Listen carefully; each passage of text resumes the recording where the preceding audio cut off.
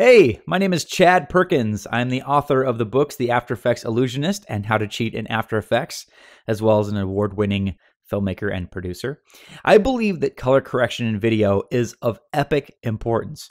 It's the fastest and least expensive way to add massive amounts of production value. Coloring footage also helps make it look more like a cinematic event, not just some home movie recording.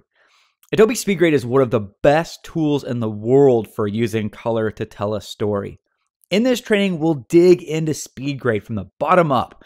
We'll get familiar with the interface and the workflow, and then start making basic color corrections and fixing color problems as well.